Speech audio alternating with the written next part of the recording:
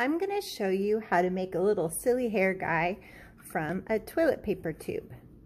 So you're going to take your toilet paper tube and draw a face on it about halfway down.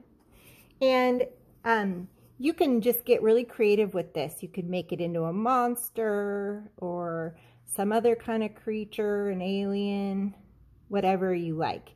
And you can color the entire thing like I did um, with some of these guys, or you can just keep it simple and draw a simple face. So I've got some eyes on there.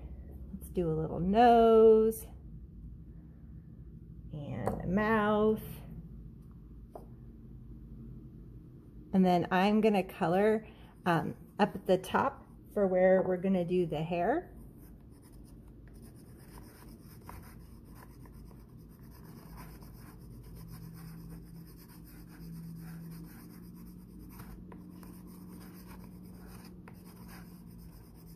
So notice how I'm coloring and then also turning the roll with my hand.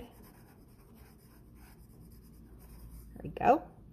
And then to make the hair, we're just gonna snip at the top where we colored.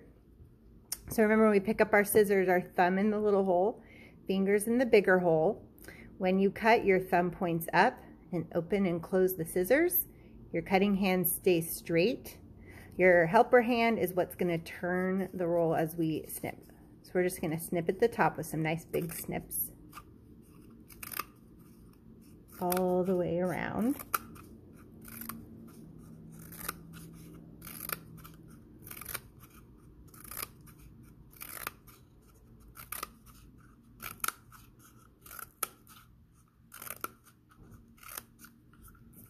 Then we're done snipping, we're just going to kind of push on the top to make them, the hair stick out a little bit more.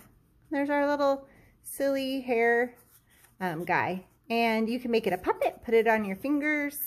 If you have a couple of them, they could, you could put on a puppet show and have them talk to each other. You could have um, your silly hair guy read a story out loud.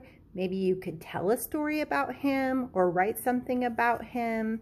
Just get creative and have fun.